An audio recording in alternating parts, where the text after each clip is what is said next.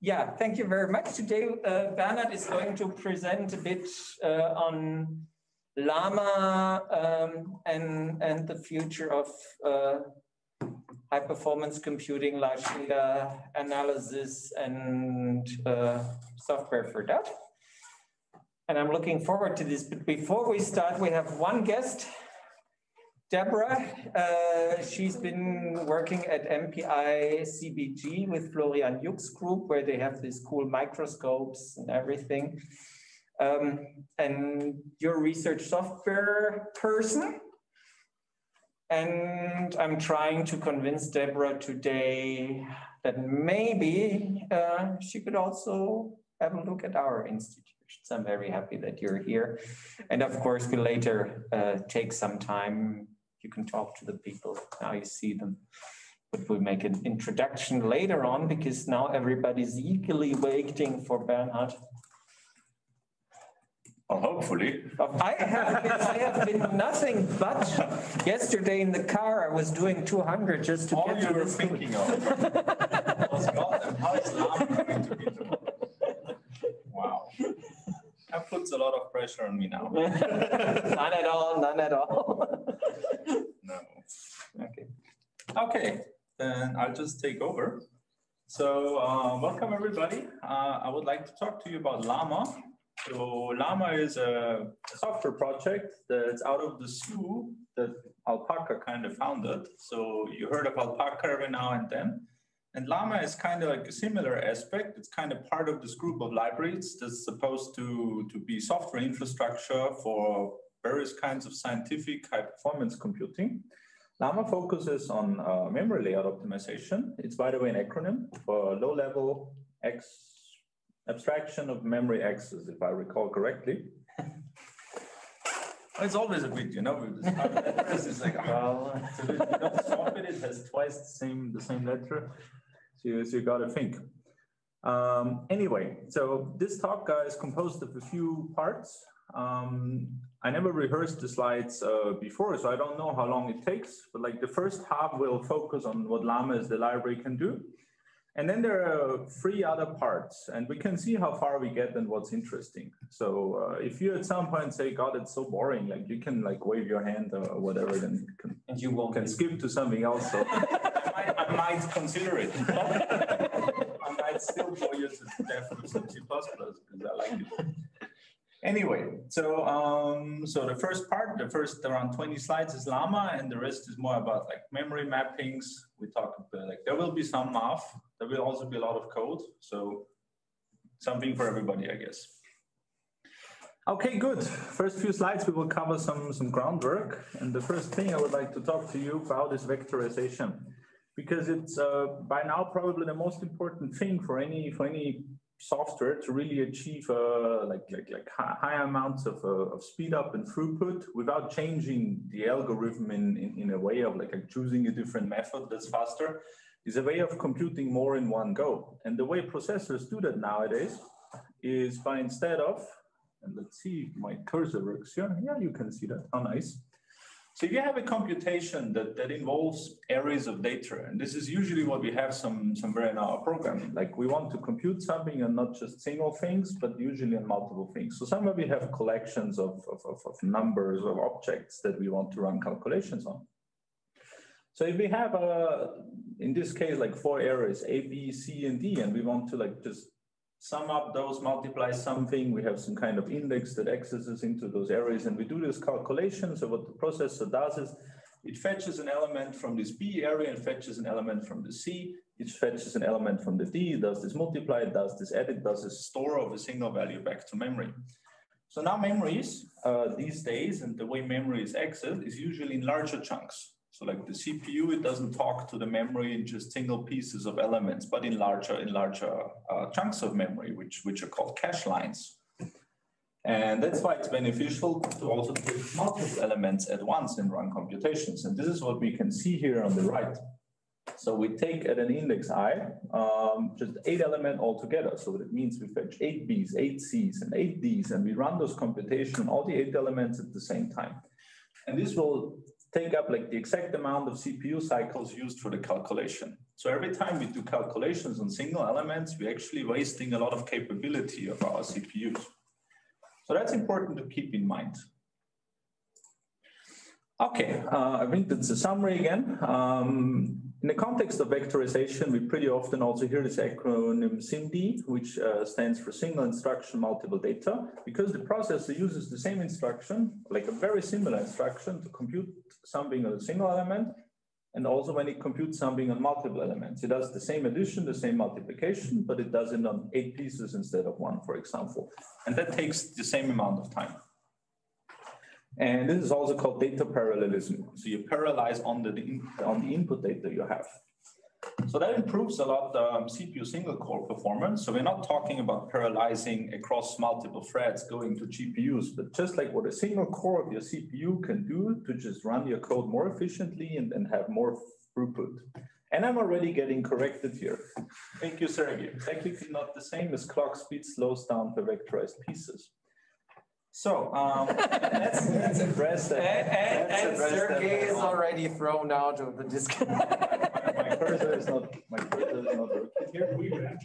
So, so what Sergey mentioned is that it's not technically correct because for some instructions the CPU slows down. And I hope I could spare you the technical details, but there are certain subgroups of vector instruction sets that really clock down the CPU because they produce too much heat inside the chip and that's specifically instructions of, I think, AVX 512. And I think there's also a slight slowdown for certain instructions in AVX2.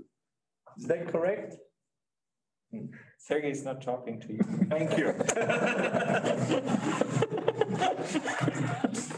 okay, good. So how, how can we how can we vectorize? And Quite often, we still need to do that manually, and manually means that in our program, we need to explicitly say whenever we access a variable, don't just take one of those, but like fetch eight of those at the same time. So we need to express this in code, and this is uh, very unmaintainable and very annoying to program this way. Uh, so that's why compilers these days are trying really, really hard to understand the memory access patterns in your program so that they see that you access like inside a loop, you access the ith filament and the i, it, it just like goes nicely from one, two, three, four, and there are no conditions inside or no like weird data dependencies. So it tries to come up with a way of doing this automatically.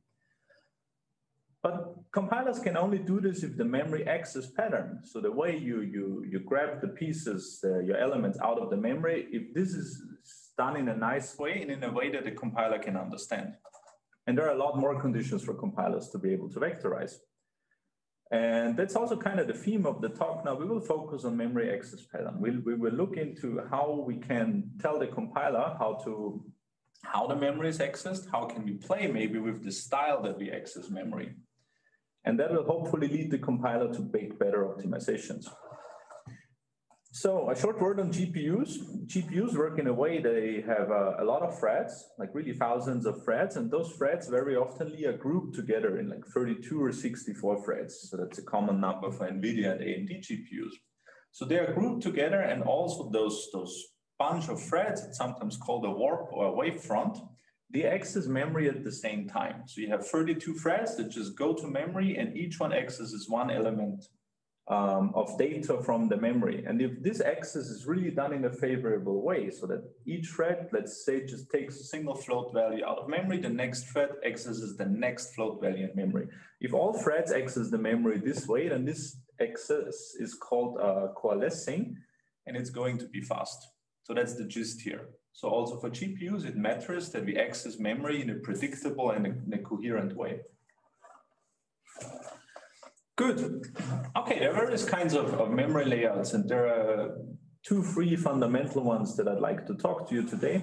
So, so briefly, we have a structure on the side, and um, this presentation will contain a lot of C++ code, so we're always seeing C++ code here. So we have a structure that's composed of two values. It's a float x, it's a float y. Now we have an array of those. And the way the language rules are to put this into memory is that it will put a, a value, a float value for x, a float value of y, and then it will start with the next struct. So there will be another x, another y, another x, another y. This is how the rules of the language, this is not something the compiler can choose. This is really something that the C++ standard or before C++, the C standard demands of the program. So this is how the memory layout is going to look like. And this layout is called an array of structs. Why? Because we have a structure and we build an array out of it. It's pretty, pretty obvious. Okay, then we can reverse this by moving the array uh, extent into the struct itself. So this layout is called a struct of arrays because now we have a single struct and each like domain element I'll have here, like, like the, the x coordinates, for example, they are laid out contiguously as arrays. So here I have uh, eight x values, uh, eight y values, and those will be put into memory in another way. And you can see that this is kind of the transposed layout of the previous one. So in this case, now we have all the x values side by side. So why is this nice? Because if you have computations that run on positions and maybe just compute something on the x value or on the y value, now we can pull out eight of those x values at the same time from memory. So this is a layout where compilers can do better optimizations than, than with the previous one. And there's also a mixture of that. That's called array of struct of array, or some people call it blocking. And that's a mixture. So we have arrays inside the struct and arrays outside of the struct. And um, there are various kinds of trade-offs we are making here. Um, because we could argue, why do we need that one? Because the previous one, the structure of arrays, also vectorizes nicely. And the reason is uh, CPUs are complex these days. So we try to, to, to build a favorable memory layout, but also CPUs have, have caches, and caches means whenever I do a memory access, the CPU will pull a chunk of memory and keep it in the CPU cache. So we're going, so when we are going to touch that piece of memory again, it's, it's accessible much, much faster. So if I now spread out my struct into like longish arrays, and now I want to access X, like just of one position, I want to access X and Y. Now those, this X and this Y are further apart from each other in memory. So it's quite likely that the CPU is going to do two fetches of two cache lines when I just talk to a single position. Whereas if I had an array of struct and I would take a single positions, those are next to each other and it's likely to go likely to go into one cache line. So there's a trade-off that we are making here. The struct of arrays, is, it vectorizes really nicely, but it spreads out the data. And the areal struct, it keeps the data of single pieces together, but this is very bad for vectorization, for example. So that's why this uh, array of struct of array uh, layout exists, so we can make a trade-off uh, trade-off between those, those methods. There's also a fourth aspect, um, that's padding because sometimes we would like some empty space in our structs. So, so why would we want to do that? It's just uh, wasteful to some degree. Um, yes and no, because um, there are certain other effects, uh, especially that happen when you access data concurrently. So you have like multiple cores or multiple threads, and they are talking to memory locations that are either the same or very close to each other. So it can be problematic if, let's say, like one core writes data to some bytes in memory and another core starts reading from just a few bytes off of that. And so the most problematic case is when they talk to the same cache line. Then something called false sharing occurs. And I don't bore you with the technical detail, but the CPUs have troubles keeping the data in their caches if, if other cores talk to very, very close memory locations. So that's why sometimes we try to spread data out a little bit so the CPU's cores can access them more independently. So that's the, the gist, the, the takeaway from here. so these are nice memory layouts. Um, so, but so far we, did, we didn't have a problem yet. So what's, what's the issue? We can just pick a memory layout that's nice and, and, and that's good. So the problem we hear is that the way data is uh, represented in a program and the way data access is represented in a program depends on how we specify this, this data layout. So if we choose to define our data, and I have two structs here. So the first one is an uh, array of structs and the second one is a struct of arrays.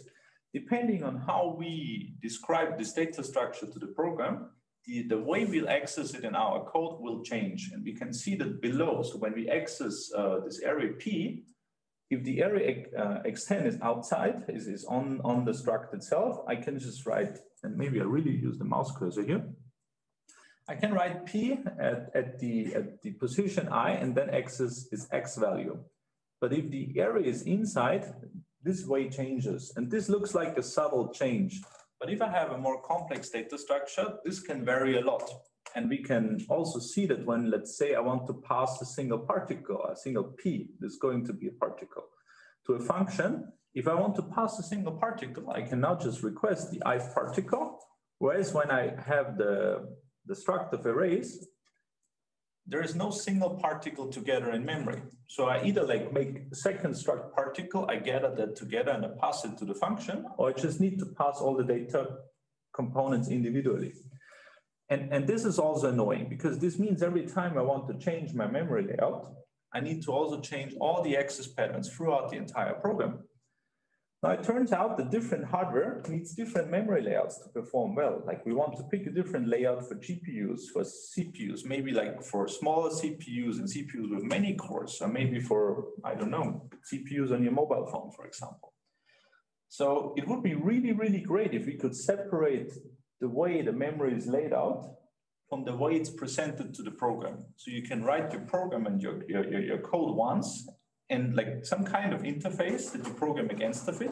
And the way it's represented in, in the back, it's going to be flexible. Question?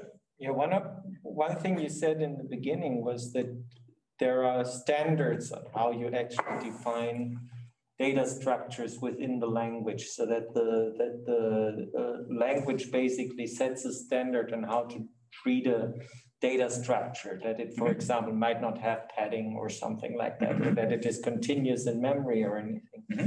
Wouldn't that actually be a problem now that you change that kind of understanding because people have been maybe writing C++ for 10 years and then they kind of assume these standards and now you're changing them. What is your... So, so the the observation was if the C++ standard tells exactly how a struct is going to look like, how can we change this? And the answer is we cannot change that. So if a user writes a struct and defines its data members, we cannot bend or break the rules of the language on how this is going to put, be put into memory. But you can always move away from structs and manage the memory yourself. Like I can just allocate a buffer of bytes and then myself say like where are the, where do I put my floats, my doubles, my, my, my little pieces. So now I'm going to do a lot of manual labor to achieve this because it's outside the scope of what the language gives me for structs. Okay. And, and how severe is this problem? Is it that it's like if you can separate memory layout from the access that you can say this is possible or not possible in on different hardware, or is it a certain X speed up that you would get? So um, it's not about uh, possibility or correctness of the program. So either data layout will run because it because it, it follows the rule of the language. You have your struct, you have your data accesses. So your program is going to run and it will complete and will probably give you the right results. Um, but there is a severe slowdown potentially. And there's a theoretical number you can say. Let's say like your, your CPU has uh, vector instructions and vector registers that can fit eight floats instead of one. So there is a potential factor of eight that you could get. If you make like if if your program can fill up this, this, this arithmetic power that the CPU has, like uh, the, the, way you fetch memory, the way your data is spread out into memory, it's in a favorable element, uh, in a favorable way, so you can feed the CPU fast enough. So that could potentially get you 8x. Practically, I have an example later uh, where I can show you that we got 3x. So we are, we are not talking about 50x or something, so that's not possible without changing fundamentally how your program and the algorithm works. But like realistically, we are somewhere around like two, three, four, five x. Theoretically, maximum eight maybe. If you have newer vector instructions, you can even get 16 maybe. So in this order of magnitude. Good. So that's it for the introduction. We're finally there. Hello, welcome to my talk. This is going to be about Llama. Um, Llama is a a software library, um, and it's supposed to be a low-level abstraction of memory access. And the idea, as I outlined already, is to split the algorithmic view of data. So when I write my program, the way my program looks at a data structure, it's going to split that off from how the data is mapped to memory. So I can choose different memory layouts, like at compile time, and that will not change the code I've, I've written against the interface of the data structure. So I don't need to like change my algorithms, um, um, but I can I can switch out the way the, the data is mapped to memory. Llama is header only, it's portable, it's C++ 17, it supports CUDA 11 and, and, and upwards. So that's just some side notes. It's designed to integrate with Alpaka, which is another library people gave talks on, I think. It's orthogonal to Alpaka, so you can use it without Alpaka, but it's supposed to, to nicely work together with Alpaka. And it currently still relies on the compiler's auto-vectorizer. So there is no explicit vectorization built into it yet. I would like to look into that, but there is still a lot of time in my PhD. So, and then there is a lot of. Ah, that's nice when they say it in the beginning. Thank God we have it recorded, so you can play it to me each year. okay. I, I remind you of that one. I'm going to show you an example, and that's an example about a, an n-body simulation, because uh, there you can see that quite nicely. And just as a very brief introduction, what the code does, is it runs for n time steps. Then it takes, we have a buffer of particles that are going to be simulated. So for each P1, for each particle P1 in, in, that, in that set of particles, I take another particle P2. So basically I'm, I'm forming pairs of all the particles. And I will then update the velocity of P1 based on the influence of the other particle at that time step t. So we're going to have like two nested loops and um, the inner loop, the particle of the inner loop is going to be updated by all the other particles. And then that's the update step. And afterwards, for each particle in the set, we update the position depending on its velocity. So that's like those two steps. And I'm going to show you three pieces of code. And I'm moving here to Compiler Explorer. Can you see that? The font too small, maybe? So Can the, can the online participants see this? Uh, if you can increase the font a little bit, it would be nice. so 18. I'll just put 18 here. Is that Better? Is that better? Yeah, yeah, that's better. Okay, great. It's perfect. And this tool is amazing. My mind is blown. It has two windows separate, Exactly. exactly next to each other. And it shows assembly in rainbow colors. Wow, rainbow. Okay. So um, for, for those who didn't get the joke, this is a Compiler Explorer, which is a, a tool that was built a few years ago by, by a person called Matt Godbolt. That's why the URL is called godbolt.org. What it does is it can take a piece of best. code, it will compile it, and it will show you the assembly the program compiles to. And, and you can choose and know an somebody in awful lot quantum of computing compilers. So those are all C++ Qubit. compilers that you can choose from. And you can specify like command line options, you can add libraries to it, and I think it also supports a bunch of other languages that you can look into. So basically a way of like playing like very tightly, very intimately with your with your with your compiler, intimately. Okay, anyway, so the code. Uh, I'm going to de define a struct vec, and I'm going to use uh, FP here. That's an alias for float. So there's going to be a floating point here. So I'm going to use a flag, a, vector of, of free floats x, y, and z. Then I define a bunch of operators, not so much interesting, but here I have the data structure. So I'm going to have a particle that has a position, and this position is basically a vec. So that will be uh, that will have x, y, and z as a, as a float. I define a velocity that's also a vector, so that also has x, y, and z, and then I define another float mass. Good, that's the data structure. That's how we would write that down naively, maybe, or in, in a similar way.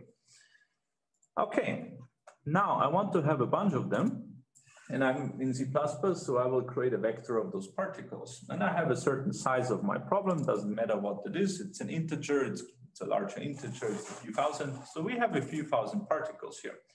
And I'm going to initialize that using some random numbers. And I want, I would like you to pay attention to the data access that we, that we write here. So what we write is we go over each particle and then we explicitly write that p dot position. So that's where we tell the compiler on this particle p, I want you to navigate on where the position is stored. And then I want you to navigate where the x value is stored. And this is supported by the programming language itself. So obviously we know that this is how we, how we talk to data. But I want to raise this awareness that we actually describe here a way that the compiler navigates into memory and how it computes an offset of a, like a memory address on where it starts fetching a float value from. And then later like store a float value too. So this is how we express it normally in our C++ code. So this code is an implementation uh, of an um, array of struct layout. And we can see that because here we have a vector of structs. It doesn't need to be an array specifically, but those particles will be laid out consecutively in memory. So it's like, like it would be an array of those particles. So in our simulation, we can then run over like all the particles in two nested loops. We can do that here, like we count from i to the problem size and then from j to the problem size.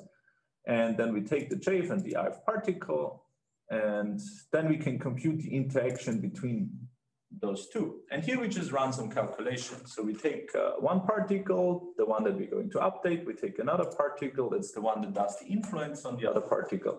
And then here's just a bunch of computation. So what the compiler generates from here, and we can see this on the right, here are a lot of instructions. And I'm not going to bore you a lot with details, but you can see here when I move over the assembly, it also shows me the lines of code on the right that produce this kind of assembly. Oh, I love this. We can, we can see instructions here like, like v add ss, for example. So what does that mean very quickly? So v stands for vector. So wow, we have vector instruction. That's really cool. It turns out that many vector instructions, uh, there are versions that just work on single elements. And we can see this here. And I think it's this, the first S here that we have here. And that stands for scalar. So this is a vector add scalar, and the second S stands for single precision. So that is an instruction that takes a single precision floating point. It's going to do an add, and it's going to do an add on a scalar value and not on a vector. So that's the most important takeaway here is if you look at this and we, we see SS on a lot of those vector instructions, this is scalar code. So this is code that just takes one float of the memory, runs computation on one float. Okay, cool. So let's go back. Let's take another example. Here I need to change the font size a second time. I do. Young people have it so good. We had to do this with punch cards back in. My professors told me this. Yeah, what's horrible? What's horrible? Oh, really? That old? We also didn't have McDonald's, the gyms, or I don't know what. Or PlayStation. I don't Everything know. was black and white back then, not even rainbow Exactly. colors. People didn't even have coloring. Okay, so let's say I want to write this program in a, in a, in a struct of arrays way. So I want to split off the X, the Y of the positions. I want to split off the mass and I want this to be individual areas. So if I'm going to do this manually, it could look like this. And you can already see like this kind of blows up the program a little bit. Uh, it also feels a bit weird because now we don't have a particle anymore, but we have this vector of, of, of x positions, this vector of y positions, this vector of masses. So it kind of feels, feels weird maybe. The way we're going to access this, um, here now it's kind of reversed. So I still have the array index here. I'm talking to the i thing, but now I need to specify, okay, which area you're going to talk to. So here we, we already observed that this changed the, the, the, the way we, we talk to those, the, those data structures in our programs. And if I then call update here, I'm going to make a line break here, I can now not pass like a single area of particles in because now I need to pass in all those individual arrays. In theory, I could just pack all the vectors together in one struct to have an easier life of passing them around in, in, in my program. But the gist is that here we have multiple arrays that we are, that we are talking to in our, in our program. And this becomes even more evident if we look at the call to update here. Now we have like a lots of, lots of parameters for the various kind of, of, of arrays we have. And then we can again go over all the particles in two nested loops. But then when we want to compute the interaction between two of those particles, I can no longer like pull a single particle here and a single particle here out of memory and call a function giving it two particles. Because two particles don't exist anymore. I spread this data out in memory. And this looks ugly and it's annoying to program. because here you can see like now the PP interaction, which is the particle particle interaction function, not takes two particles, but just a bunch of values. And it might even it might even be easy to confuse them up or pass the wrong values when I call this function. So, so this is nasty to program. But we might see the benefit here if we look here on the right side, that suddenly like all those instructions that previously were called SS, they're now called PS. And this P stands for packed. So that's a vector instruction that can work on a packed values, uh, on, on a pack of values. And that's now really, really nice because this means the CPU is going to work on an entire, like in this case, a ZMM register. And that when that register is, is pulled from memory, I can see it at the moment. Hmm, it's, I think, one of those move instructions here. And it's going to move data from the memory into this register. It's going to move a pack of scalar value, a pack of single precision values into your register, and the computations later will be done on whole packs of data. And this is going to be fast. Okay, cool. But we've seen that now this changes the way we, we write our programs. So what if we had a library that could abstract this away? And this is what Llama tries to do. Can I ask you a quick question about the yes, assembly? Please tell me. Um, so in in the first example, the the instructions were using, I think, still MMX registers, while the ZMM registers are AVX registers, right? And they're also longer, Yes. so, so they should be, uh, yeah, 512, right? The ZMM ones. Uh, do you know if there's any if there's any performance impact if uh, AVX command operates on a MMX register? No, wait, did I Very say interesting an question. command operates on a MMX or SSE register. So, so a piece of background information. Um, when new vector instruction sets got introduced, your CPU already had some existing instructions and your CPU had existing registers. So the way it usually worked is um, you took the existing register, you doubled up its size. So let's say you have a, register and it's called XMM. So that's like the typical name for a vector register back when uh, like we had SSE instructions, for example. So when uh, AVX instructions came along, and AVX is for Advanced Vector Extension, I think, and there was an instruction set that had wider vectors. The CPU vendors just took the XMM register, they doubled it up and called it YMM. But when it, but this means like now I don't have a separate XMM and a separate YMM register. So those are actually the same register. But if I have XMM in my in my assembly, it's going to just talk to one half of the register. So whether I have XMM or YMM here, if I do scalar operations, it makes no difference. Because I'm only talking to a single float and that's going to fit in the register no matter if I talk to the lower half or the full register. So the question now is, would it be a slowdown if I have an XMM register here instead of a YMM, although I just use a single value of the register? My answer is I don't know. I would assume it doesn't make a difference because it's still doing the same amount of computation effort. It's still a, a scalar instruction that works on a single float. I think it shouldn't matter, but I don't know. Does that answer the question? Maybe the moves or something. Yes, thank you. I had troubles hitting the unmute button. Okay. Since Michael mentioned the move instructions, like, like up here, we also have the move instruction. Also, this move is a move S, so it's a scalar move. So we just transfer a single float. The Ah, yeah, yeah. CPU in the background will transfer the cache line, but I just throw everything away except for that one float value, and that will be put into XMM4. Whereas in the vectorized version, I, s- I should see a move PS, so that's a packed move instruction. So that moves, and since it's going to ZMM, it's going to move the entire size of a ZMM register, and that should be, I think, eight or six, I think it's 16 floats. So that's going to move 16 floats into your CPU at once. Okay, let's look at the Llama version. So, um, so finally, now we are we actually here. You know, it's like thank you for being here. That's a talk about Llama. So we're going to include the Llama header, and that might look weird to you on the first line because I'm just pulling in some random header from GitHub because it, lives there. And that's the cool thing about Compiler Explorer. You can like include things over HTTP. That's it's it's just awesome. So you can pull in a header from any GitHub repository. Good. So you have Llama here now. So what does that mean? um, I have a bunch of variables that I talk to you later about. But Michael already mentioned that at some point, well, the C++ standards gives us restrictions on how structs can be laid out in memory. So if I want to play with this, I can no longer use structs.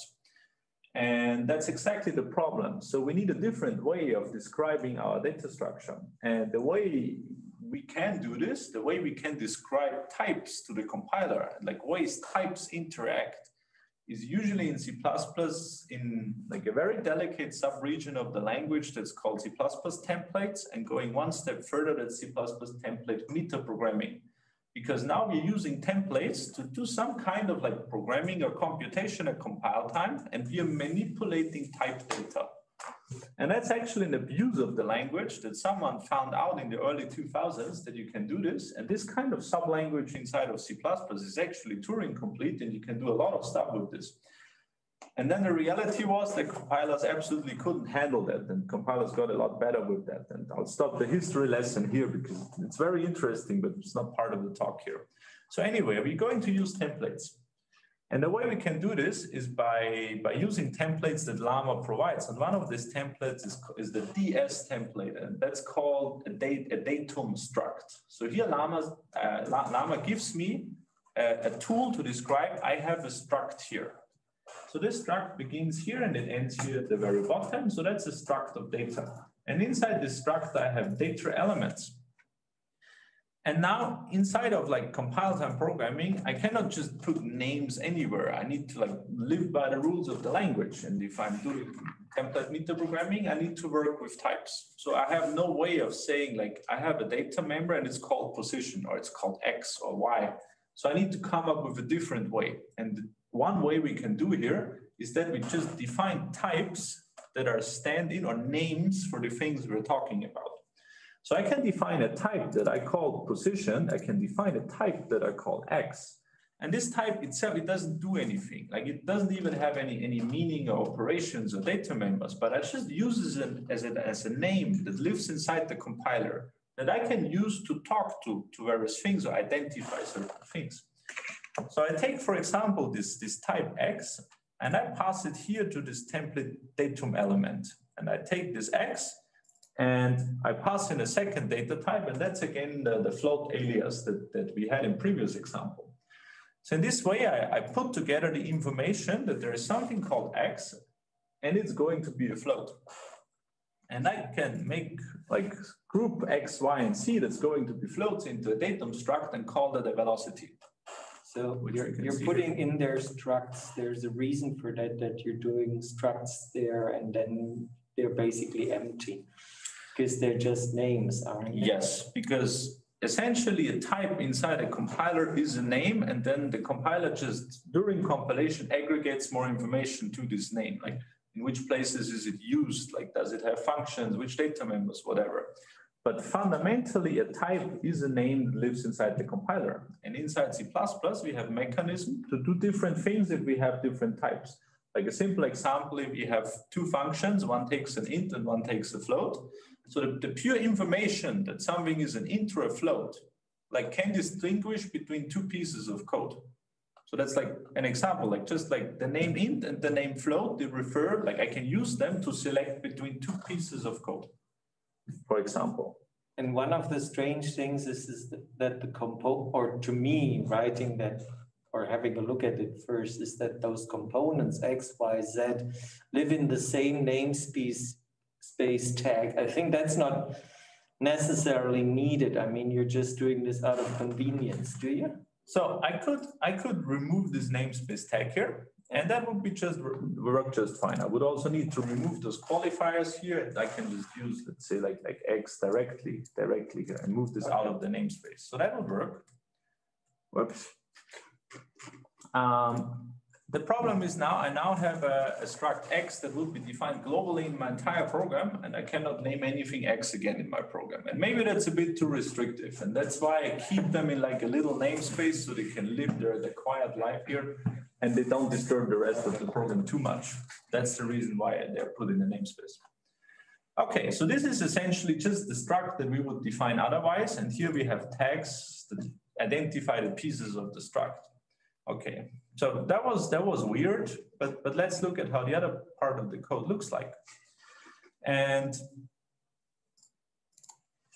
I need to allocate the piece of memory at some point, like, like the data structure. So we had std vector at some point or a bunch of std vectors. Uh, in the other example, in Llama, I also need a, a, a way to, to, to, to, define, like to allocate this data structure. I described how a single particle looks, looks like, but I also need a bit more information. Like I want to build an array out of those particles. I want Llama to reserve memory for that. And then we talk about all those memory mappings or, or, whatever. So how do I specify those? And this is what I need to set up for Llama to work. And in Llama, I have something that I call the array domain. And this array domain is the part of my data structure that's like the repetition of something that's inside this array. And how many dimensions does it have? What are the sizes of, of these arrays? So you can think of like the definition we, we gave previously, this particle that sits inside an array. And then we're building like a one, two, three, whatever, like dimensional array out of this, out of this particle. So in my case, I have a one-dimensional array because I just pass one size to, to array domain, and that's the size of the problem. And now I need to have a mapping. And don't be too bothered by like all these conditions, because this is the mechanism that I can use later if I change the the, the value of the variable mapping, it would just pick a different piece of code. And like one piece of code here is llama mapping AOS, and that's array of structs. So this is how I tell llama, I now want to do a memory mapping that resembles an array of structs. And I'm going to pass in the size of the, of the arrays, and I'm going to pass in the particle, like a single piece of the particle. And actually, we, we don't need an instance of this particle inside this mapping.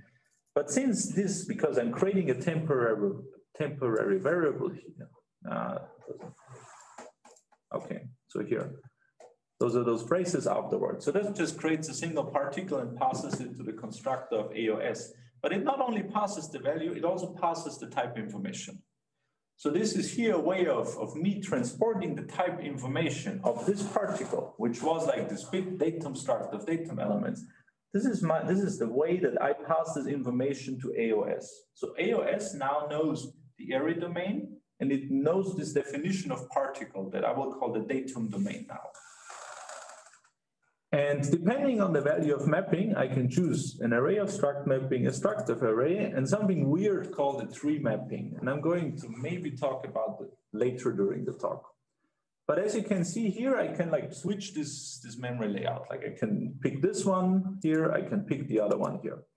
Anyway, it's going to be stored here in mapping. And then I can allocate the view in Llama. So and the view is the piece that I as a programmer then use and program against.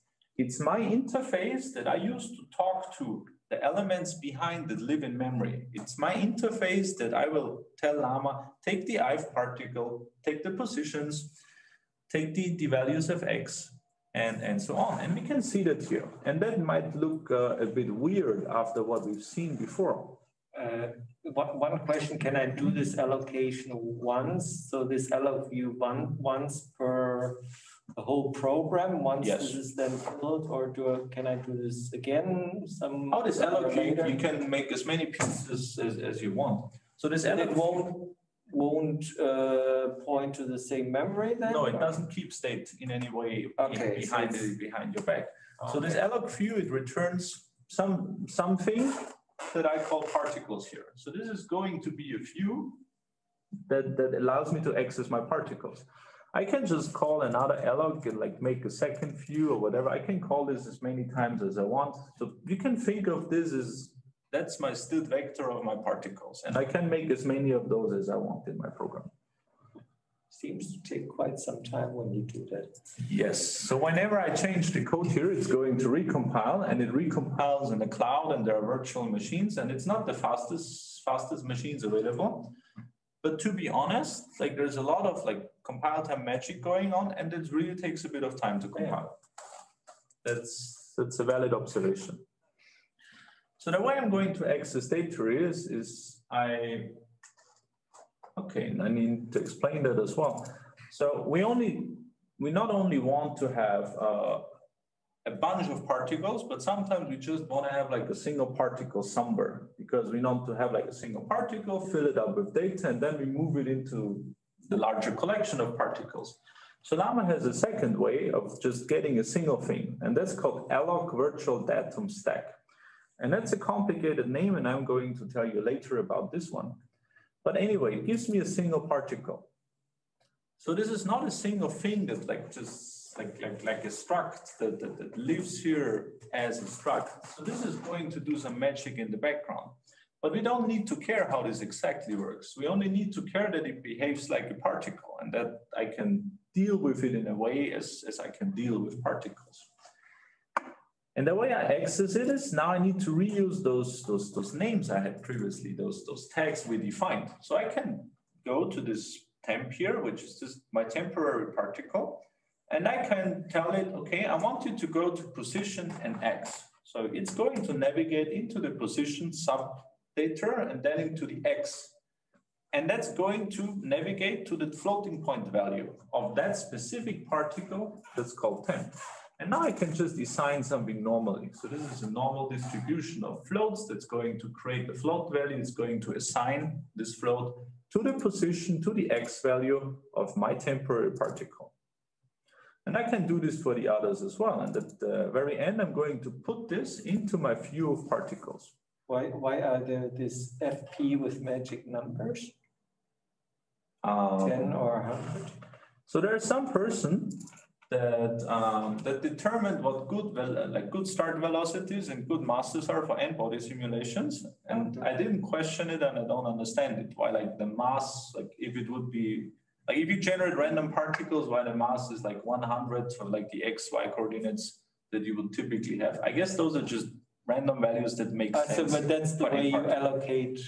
So this, this is basic, this is not just allocation, that is now also assigning certain starting values. Yes, so this is Ah. like I initialize like my, my particles with some, some some random initial data. Okay, Good. So I have here my my few Yeah. particles. There's a question. Yes, uh, if you have a deeper data structure, then you would pass more variables there with the temp. Yes. So uh, How would that? work? if if inside my position I would have like subposition and whatever, I can like queue up as many tags as I want. So what I write here is just like how I navigate this hierarchical struct until I, I arrive at the fundamental element in the in this data structure, and there I then can like assign normally to it, or pull that value out of memory into a float variable, for example. Okay, now I can call update and I pass this, this view of particles to the update function. So nice, we have a single thing that we can pass. Okay, okay, this is, this is the update function and we can already see that this is a template. So why is this a template? Because this view that's going to be passed in here on the compiler side is a very complicated data type because this view not only needs to know where is the memory stored and what kind of mapping are you going to use, but also what kind of array dimensions do you have and what is the entire type information that you're going to store inside.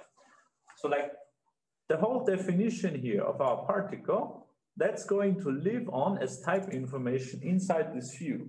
Because like the type that the view has, view is a template. This template needs to carry on all this information.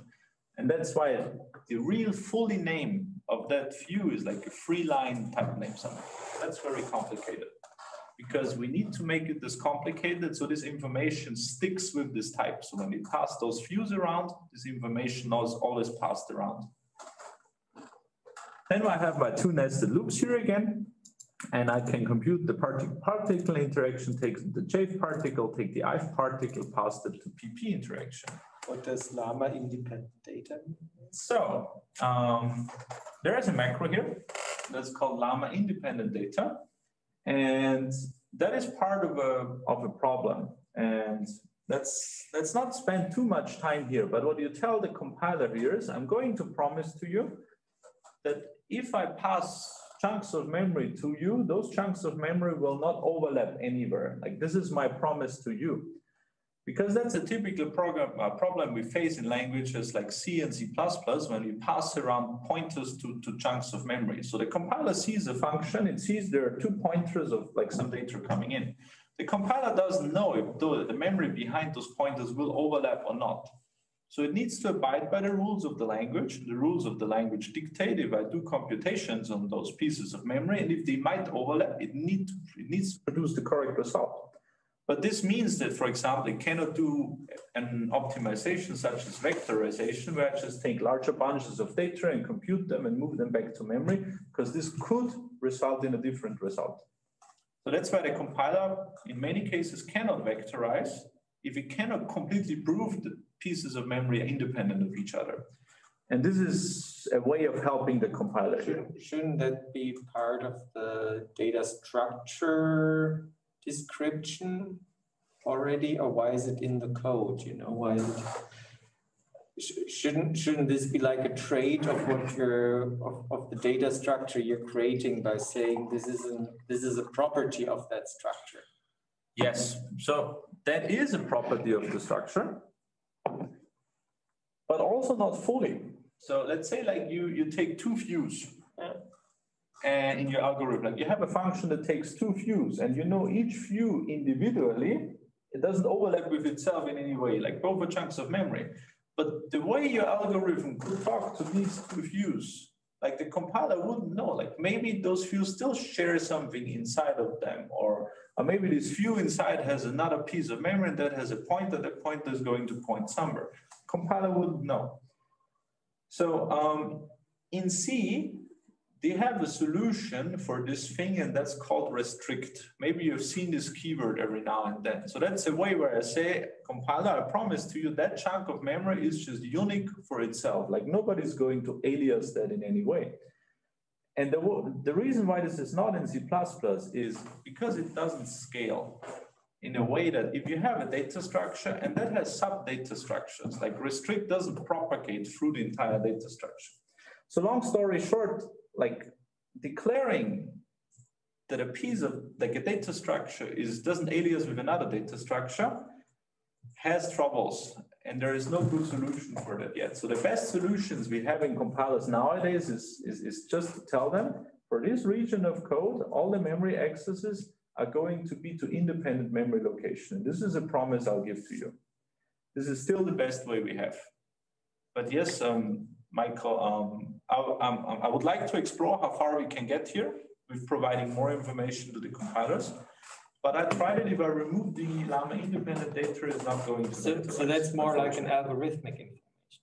Yes. So it also like depends on the way the algorithm talks to the various pieces of memory that the compiler can reason about how how how this this memory is used. Yeah. Right. Okay, moving on. And I have also shut me off if I'm. Huh? no, no. It's just I'm, I'm seeing where we're taking our time here, and that's good. And we're probably going to skip the second half of the talk, which is also fine. Well, we have another seminar like this. It's quite hard to get seminar slots these days. Oh, really? so I'm going to call particle-particle interaction here, and you might also notice oh, there's another weird keyword here. And for CPU implementations, this is just going to tell it this is this function is going to be inline. But I said that Llama is also capable of running on GPUs, for example, and for NVIDIA GPUs specifically, when we when we when we want to, to work with CUDA, we need to make certain prefixes to our function. And those prefixes are also hidden behind those macros. So don't worry too much. You can think of this as just inline. More importantly, we have this particle-particle interaction and it takes, again, two pieces of, of information. It takes a particle one and a particle two, and those particles are called virtual datums. And the virtual datum, I'm going to tell you later about that, but it just is a stand-in to identify a single particle. It is kind of a single particle, but it's not a single piece of memory. It's actually like some kind of handle. It identifies a particle somewhere and it gives you a way of accessing properties of this particle, but it doesn't contain this one particle of itself. It's just some kind of like virtual thingy that says, hi, I'm a particle, but it just points to somewhere else. And then again, in the computation, I could just use those tags normally. And what's also quite cool here is I can take from particle one position, from particle two position, and I can add those two up. Shouldn't that be minus? Yeah. Or maybe it should be a minus. I don't know. I'm not a domain expert on, on n bodies. The distance, distance between two points should be a minus. Probably. Let's, let's, let's merge it. Let's make it. I understood something. I'm Yeah, feeling great. great. So as you can see, it's quite uh, fruitful to have a collaboration between uh, computer people and, and, and physics. Come on, people. you're, you have been doing computer graphics. I, I wouldn't know that. Maybe that's the way n bodies work. anyway, more importantly, we have a, we have two positions and we run a computation on those positions. And that's a feature of Llama. Like you tend take not only like single values of a, of a, of a datum, but like just larger bunches of data and run computations on them. Hi, Inken. Wir sind kurz nur noch mal da, weil ich den Laptop abgegeben habe, deswegen. So, so that's going to subtract the one position from the other, and it's going to store something here in this, and that's going to be another position, so another thingy that has X, Y, and Z. I'm not going to tell you what exactly it is. It's also some kind of magic. But anyway, like if we hide away the type information, the code looks almost normal. So how Can I does, ask another? yeah, But you always need to know about the structure, right? There is no autocomplete or anything to know I can access a position now at this point. okay, I think I didn't get the question. the- For the particle, it has a position, but you, if you write this, you only notice if you look at the, at the definition. at- Yes, I need, I need to know that my particle is defined in this way. Just wonder if it, it will not tell you that if you write something else there, that this doesn't exist or. right? So if I'm going to, to, to, to mistype here, Yeah. I'm going to get a compile error. And the compiler is going to tell me probably like five million lines of template failure or something. So Let's, let's look at that. It doesn't have an autocomplete. Oh, no, sorry, it's, Wondering it's, it's even works easier. anyway. It tells me that the thing doesn't exist. Okay, let, let, let's, let's, let, let's try it. Let's say I, I define a type for that. So that would really exist here, but it's not part of the data structure. It's still compiling. So I now get errors from like within Llama. And that's like, you can now see like all this type information, like datum element of tag of one or whatever. And something, and somewhere it's going to tell me, where is it? No worries. It says somewhere blah, blah, blah, type is not a class structure union type. Okay, great. Now we don't know anything. Oh, I even have a static assert here. So that's better. It says first tag was not found inside the datum struct. So somewhere inside of Llama, it was trying to look for this inside of a datum struct and it couldn't find it. So I would consider like this is already like a nice serve error message. but the- the For compiler generate is- meta the programming, it compiler is still going to puke over you with templates. Why first tag? Where does, that's just the internal name? Because first tag is the name that, thank you. I mean, just from a user perspective, I wouldn't, I would now look for first tag and I wouldn't find it in my code. Exactly, you would wonder like the hell is going on here? And. That's what I uh, remember from C++. Yes, very good, very good. That's how most people remember C++ and they I mean, rightfully I loved it, complain. but the. They rightfully complain. It can be improved maybe. So, of course, it can be improved. It can be improved, and it was not my temple.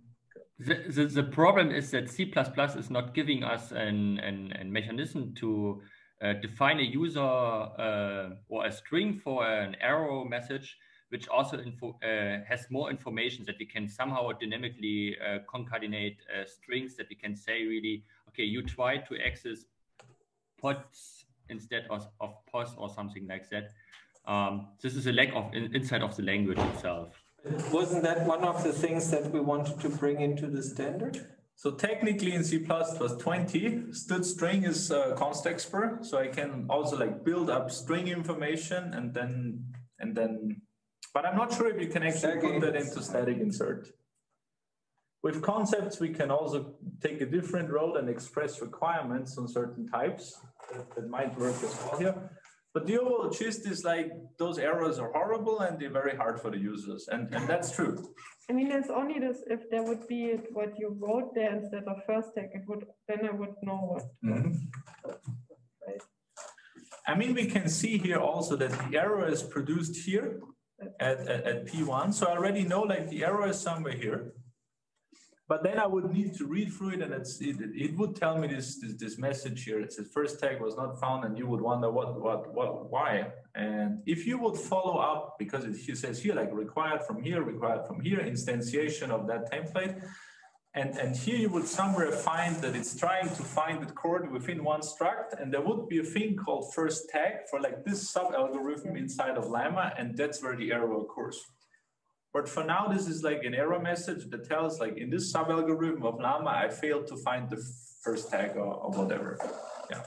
So there is much to be improved here. I didn't came around to do that yet. So we, we now refer to pods. then. So now we do, do the pods away. That should compile again, nice. Okay, good. By the way, you wrote that code for, for the distance calculation. I think that's still a minus here, is it? Yeah, that's fine, but the rest is a bit strange, but yeah. Honestly, I took the example, the way that n-body was specified from how it was as part of the, the llama examples, and I figured, ah, yeah, okay, that's- that's probably how, how n-body simulations look like. I didn't Yeah, it's a bit strange naming, but anyway. Okay. I figured it's like, like as a, as a, as a, as, as a programmer, I, I see, I see like memory accesses and floats and whatever. The and second and third things- weird me out, the second and third line. Yeah, I just see out. variables and, and registers. That's- Not, no kidding. It's very important to, to, to uh, name variables in, a- in, in, a- in a describing way. So maybe those are really, really not great names, but uh, I, wouldn't really know. I think those are from the CUDA examples. This is the Maybe. CUDA n-body example originally. And this is the way the CUDA blog posted about n-body. So thanks for giving me the backstory, because I took this example from my uh, pre- predecessor, Alexander Matthes, who was uh, previously before me working on Llama, and he wrote down this example. So now I know where he had it from. There's always a, a history, somewhere, somewhere Great. Stack Overflow is involved. So so what's important here now is that um, we can see again that this code here that, that I have here, it's, it's producing vector instructions. Wow, that's great.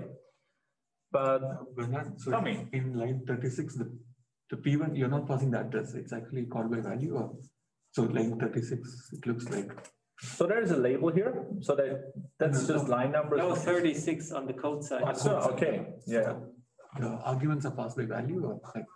Looks Yeah. like P one and P two are, So very, very interesting observation. So Sachin said like this P1 and this P2 is passed by value. And in C++, if we pass something by value, it usually means that it takes a copy of the thing.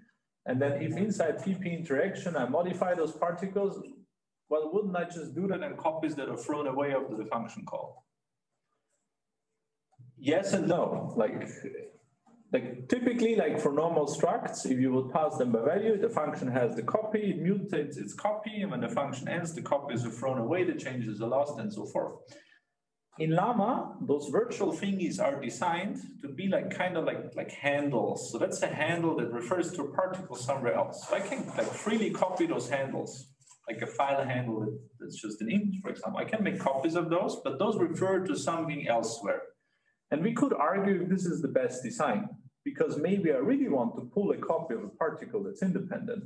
And currently, I- there is a, a different mechanism to do so, and it does, it's not nice, because like the standard C++ way of taking copies is by doing a copy, like having the copy constructor copy the value. And this is not done here, and that's actually counterintuitive, and that's true. That's the way it's currently designed. Hmm. So we can see this produced vectorized code. Same way we do in PIConGPU is what Sergey says, as particles are also handles. So it could very well be that this was a design decision again of my predecessor to make those like handle types somehow. But I have it in the back of my head that it's a bit of a bit counterintuitive. I haven't come around to to change that. maybe it's more about naming as well. I mean, many also just one pointers in C++ plus and it's a pain, right? So having mhm. something that works like this is, is really nice. But if you mhm. name it that everyone knows what it is, then, then it's clear. Maybe you would not name the virtual particle, but like just particle handle or something. so Like, that like it, it- like I can like use better naming to communicate intent more clear. This is something we could definitely at least do here. To just like make it really obvious for the user, like you're not having a particle in your hands, you're dealing with something that refers to it. To it. Um, uh, one, one information, uh, um, uh, it, it is nowadays also I saw it in other libraries uh, more or less common to not use uh, the sign anymore for a deep copy. And if you like to have a deep copy of something, really provide a function which is really doing a deep copy, where you really then write inside of your code, do a deep copy of this particle. Uh, and everything else is, is, is then more a lightweight. So it is, uh, it could be a handle and then only it is uh, um, um, uh, cloning the handle so that you really know where the deep copy is. In C++, you have the, the problem with the sign. You don't know, is it a deep copy? Is it uh, only a handle behind? And, and um, uh, if you break the, the typical way how you program uh, C++, it is sometimes a little bit more obvious and you really know what's going on. Because with, with smart pointer and everything, you don't know really, is there a, buffer behind? Is there only one element? Is it really plain data or is it only an, an handle to it? And avoiding uh, using the assign for a copy is sometimes uh, better, but not as common, I think. So thank, thank you for that explanation. And, and giving a bit more context, um, different languages than C++ deal differently with what it means if I just assign a value somewhere or if I take a copy of a variable. And in many, especially managed languages like Java, C Sharp, for example, when you, when you copy a thing, it's like you don't take a full deep copy of the entire object. So why does that make sense? Because copies are usually expensive. If you have larger pieces of data, each time you pull a copy, that's going to cost you time maybe even memory allocations and, and whatever. So we try to, to really avoid taking unnecessary copies. But the default in C++ is whenever you just pass something around, it makes copies everywhere. So maybe this is not the best default. So not the point of arguing here. But so people came up with this idea, what if we designed more types in C++ in a way that if you take copies of them, they don't copy the full content behind it. So it like makes the code simpler for some people and it avoids, avoids copies here and there. And if I really want to do the copy, I want to very explicitly specify this.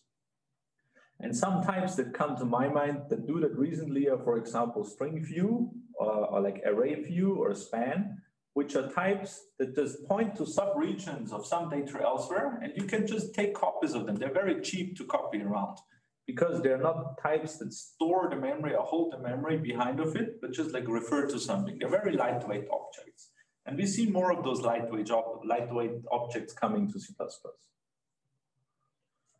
Okay, so what I now want to show you, and this is the entire magic that I was um, trying to build up like the last 70 minutes, is we have this variable up here, this constant mapping. And um, if you remember that mapping chooses which kind of mapping we, we, we choose here to allocate our view.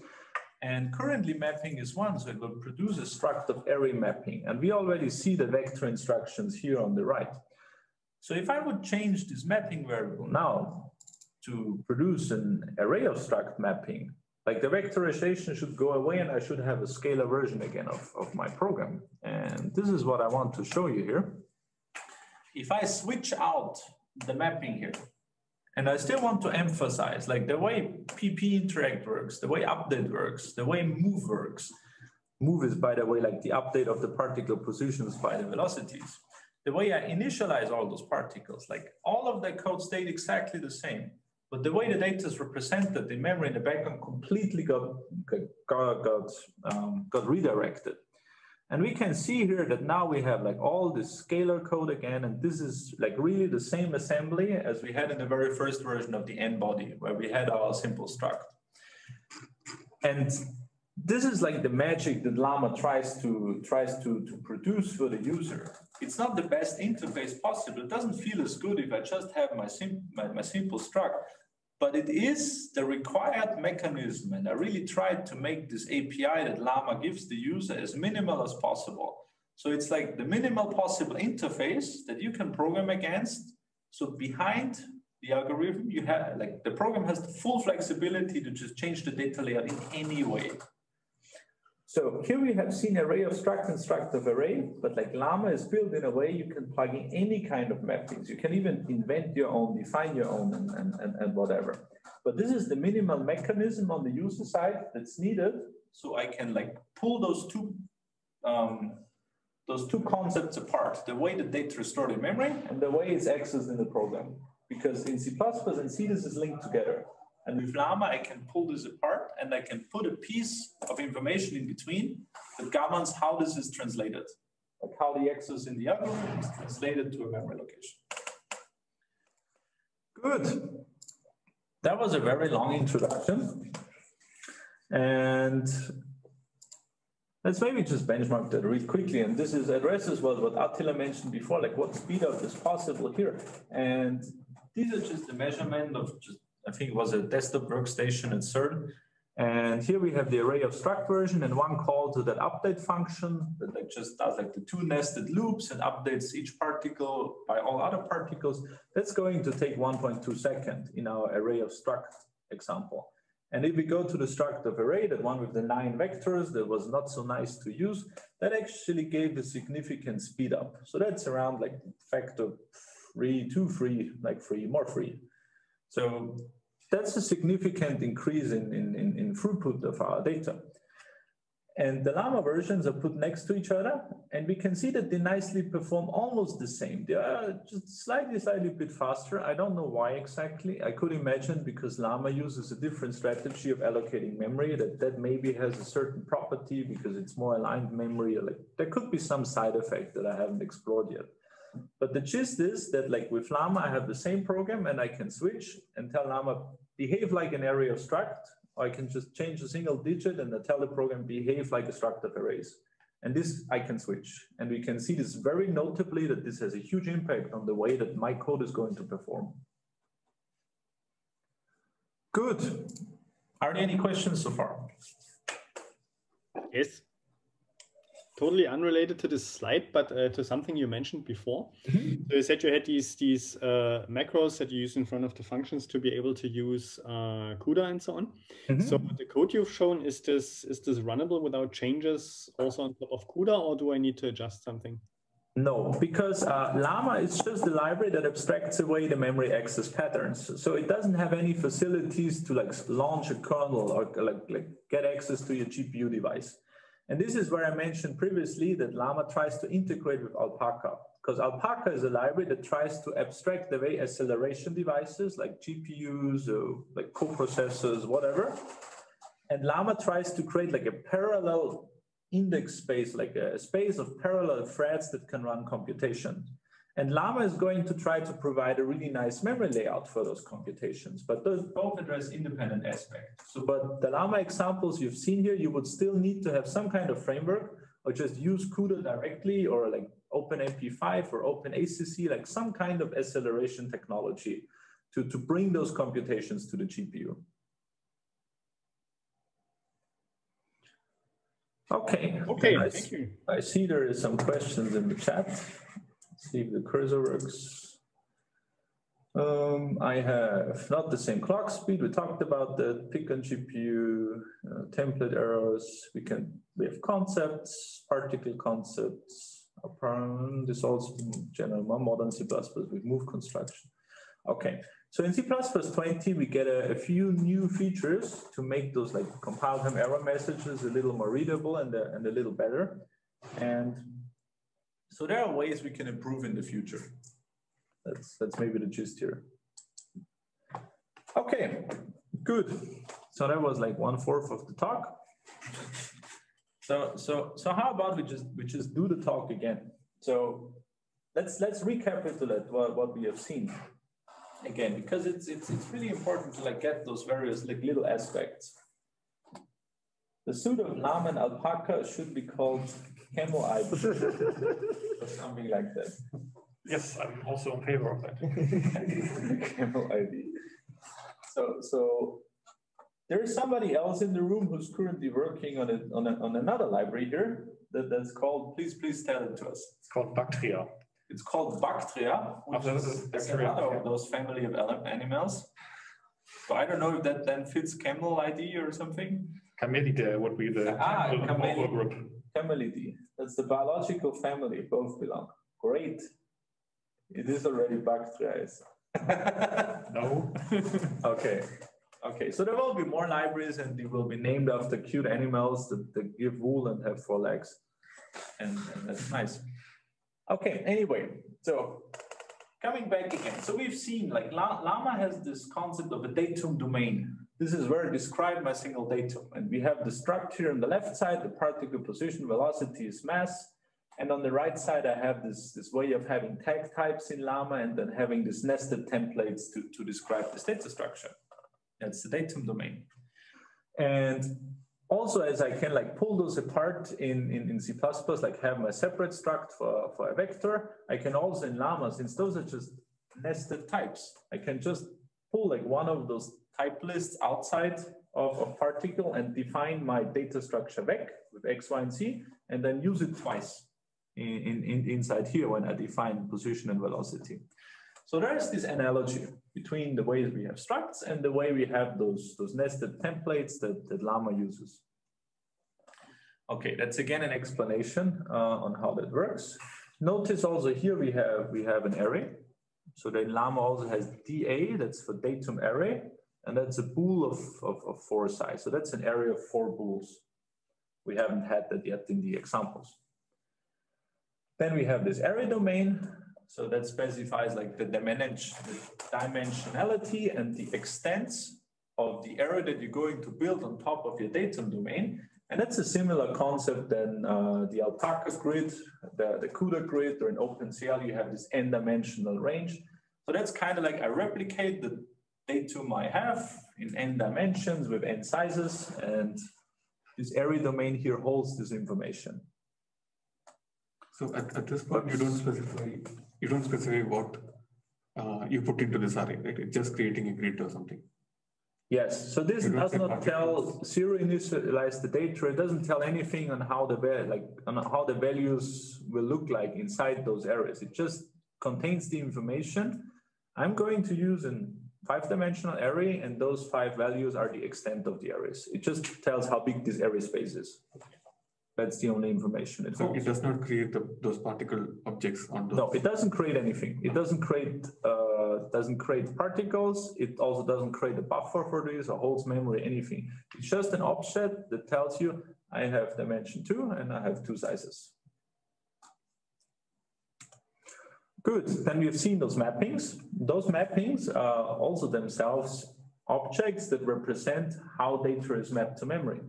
And these mappings, they take the, the array domain and the datum domain. So they take those pieces of information, the way the struct looks inside, the way the arrays are built on top of that, and then defines like how the memory mapping looks like. If I take an element in this array and then position X, like how is that going to be tra trans, uh, transformed into a memory address? This is what this object governs, like this AOS. This defines how indices from arrays and, and datum are going to be um, put into memory. And Llama has a few of those, like array of structs, struct of array. We also have this, this array of struct of array, and there's something called tree mapping, and we will skip that today. So here is an image on how that actually looks like in memory, because in Llama I can just, because Llama actually knows about how this, how this is going to be put into memory, it can put you a nice image of how this looks like. And that's an array of struct mapping. So we can see again here, starting from the very top, there's a position X of the element zero, zero, and of the element zero, zero, there's position Y, and the position C of zero, zero, and so forth. Like that's just going to be laid out from left to right and from top to bottom. So it goes left, right, then we start with the next row. This is how this is going to be put into memory. If we take the struct of array, we can see that this is kind of transposed. So first we lay out all the position x's of the element 0, 0, 0, 1, 0, 2, and so forth. And then there is the mixed, uh, the array of struct of array, where we take always eight values together. So that's going to put eight position x's, then eight position y's, eight position c's, and, and so forth. Okay, in Llama we allocated views, so we take the mapping, we call alloc view, that's going to give us a view. And this is the place where the actual allocation happens. So this is where Llama is going to reserve a chunk of memory. It's going to ask the mapping, how much memory do you need to transform all the values the user wants to have into a chunk of memory. How much memory do you need? Then I'm going to request a piece of memory and I'm going to put all the information, the mapping, the chunk of memory, I'm going to put it together into a view. And this is what I'll give to the user. This is what I give to the programmer. So the programmer has now a view that contains all the mapping information, holds all the memory. Then Llama supports various ways of uh, like choosing a different strategy of allocating. And I'll just make it brief. Um, there is support for, for pieces of memory that are held by shared pointers, by vectors, or just live on the stack. So there's like a different degree of how I can optimize on if I want to do a heap allocation, and maybe I have a very small view and some data I can keep on the stack. And this also governs, like if I have a view that's based on shared pointers, if I would copy the view, they would share the, the same memory, for example. But this is just something in the back. So as a user, you would just use Llama alloc view and that usually does the right thing for you. This is a way of customizing how it allocates. Then on the view itself, I can index on the view. And the way I index is I need to index with coordinates that correspond to my array domain. So if my array domain is one dimensional, I can put single integers in here. If my array domain is two dimensional, I need to use two indices to, to, to index into this. Or I can also use an object of type array domain. So I can construct array domain with like two free integers, whatever, and use that to index. And also note we can use the brackets or the, the parentheses for indexing. So this goes to the view and takes out a single particle. On the single particle, we've seen I can use those tag types to index into it, and there are various ways of doing that. One is using the actual tags, but Llama internally then maps those tags to like sub-indices. So it knows it's the zero, the one, the second element inside the structure. And this is what Llama calls datum coords. So I can also like, like with an index, index into those those structures. I can uh, I can um, how do you say like I can treat them as if they were a tuple of values, for example. But for the user, it's probably nicer to just index with, with the tags he defined. So if I have a particle P that I pulled out of the view, I can then like ask for position X and I will get a reference to that float outside. And in the background, that view is going to go through that mapping and it's going to retrieve a location inside the allocated buffer. And this is where this float lives. And I don't need to worry about that. This is hidden from me. Then I briefly mentioned the virtual datum, and this is what comes back if, if I access the view at a certain position. I get out something that I call virtual datum because this is not an actual particle, an actual datum element. It's not something that contains the memory and the data. It just points somewhere inside of the view. And at every access I do, this virtual datum just aggregates the information of the access so if I go uh, into the view at position pos, I'll get a virtual datum of that view and it contains inside the position where I went to. If I now take this datum and I ask for a position, like the position substruct of, of a particle, I'll get a virtual datum back that knows it belongs to this view. It was at the position that I put into the view, and it knows it is currently a datum coord zero. So like that's the zero sub thingy of a particle. So it just aggregates up this information. And when I'll do the final access, now I go to the value x inside this virtual datum that already knows its inside position. That will finally resolve then to like a leaf element of this tree of the, the data structure that I have. And this will then trigger resolving to a memory address. And this will then finally retrieve the value that, that, that I want to. This is going to retrieve the piece of memory that I'm navigating to just as a side note. Okay, then we've seen we can also put a single view on the stack. Uh, yeah, maybe just skip that. I can have a single particle and then move the particle later into the view. So it behaves like a view of one element. And we've previously seen those operators. So I can also do collective operations on all the elements uh, inside of the datum. So I can take a single particle and then write the value two to it. And this will write the value two to all position X, Y, C, mass, velocities X, Y, C, and, and so forth. Or I can like ask the datum for the position and then write one to all of those. So there are a few like neat little tricks on how I can use those operators to talk to multiple elements at the same time. Yeah. Oh, yeah. That's that, that's 38. I'll skip through that as well. Um, okay, so I mentioned that uh, Llama integrates quite nicely with Alpaka, and here is an example of, of both of the APIs. A quick question: Who is not familiar with Alpaka? Okay, most of you. That, that's great. So Alpaka is a technology, as I mentioned previously, that abstracts away um, talking to acceleration devices. So it abstracts away accessing your NVIDIA GPU via CUDA. It abstracts away your AMD GPU that you access via HIP maybe. It can abstract away OpenMP if you want to use that kind of technology. But it gives you also a kind of API that you can talk to. And in the back, it's going to map to CUDA, MP, uh, OpenMP, um, HIP, or, or whatever. So on those acceleration devices, we also quite often need pieces of memory. Like we need to create buffers and those buffers live on the GPU and we run computations on them. So Alpaka also has APIs to, to create buffers. But since Llama wants to manage those buffers, there is like a kind of like conflict of, of interest here. Like on the one side, Llama wants to have the buffers because it wants to govern how data accesses is mapped into those buffers. But on the other side, Alpaka knows how to get those buffers using CUDA, using OpenMP, using um, uh, OpenMP 5 or, or whatever. So this is an example that shows how those two APIs could play together. And in Alpaka, to create a buffer, you would call alpaka membuff alloc. And then I can pass in a device, and that device is, for example, your NVIDIA GPU and so forth, and I can pass in a size. And that's going to allocate the buffer that holds as many bytes, and it's going to live on my GPU. And in Alpaka, I can then retrieve the native pointer out of that buffer. So that will give me a pointer to the first element of the buffer, but that pointer is going to be a pointer in the address space of the target device. So that might sound very confusing. So what it means is if that buffer lives on the GPU, uh, the pointer value that I get here is the pointer that's actually, that has the address on the GPU inside. So I can use then this pointer to access this memory if I'm inside of GPU code. So let's say I'm running inside of a GPU kernel, I can use this pointer to talk to my buffer that lives with me on my GPU. So I can take this pointer and now I can just create a Llama view using a Llama mapping that I've described before, and I can pass in this pointer.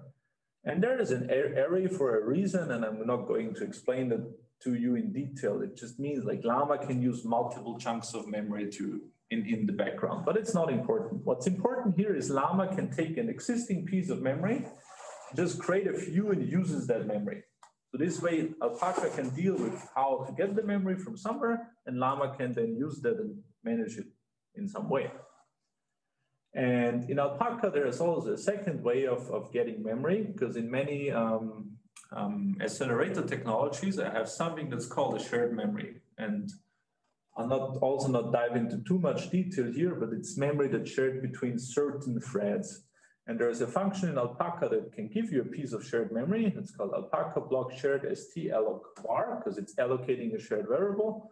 I can say that's an amount of bytes. It has a certain size, and that's going to give me like a shared piece of memory. And I can again like use this shared area of memory, pass it into Llama, and Llama can use this piece of memory to, and then like have a mapping on top, and I can use this view, like both of these Llama views here. I can just use as I showed you in the examples previously, but it's going to talk to GPU buffer, it's going to talk to a shared memory inside the GPU. So this is like the interface between those two technologies. Okay. That's it for the part that uh, shows the Llama library itself, how it's going to be used, a little, a little bit of benchmarks. Um, yeah, let's see how much time we have, because I think we're probably like getting to the end of the seminar. We had one and a half hours in.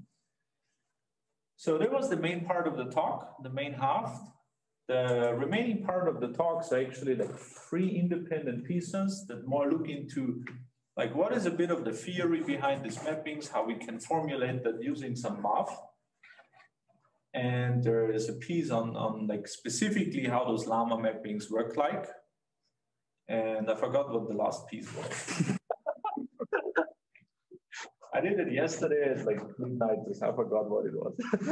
but there are three pieces. So my question is now, how do you feel? Do you feel like you, you want to continue with one of those pieces or, or would you like to take a break and we move them to a different seminar? Because now would be a time where we could make a good cut, for example. To who would like to continue? Can, can you continue in 30 minutes for everything? I can speed up and push that through in 30 minutes, yes. Okay. Oh, okay. Anybody wants to have a break and move move on with his life, just get away from this weird zoo of animals, horrible and the template metaprogramming.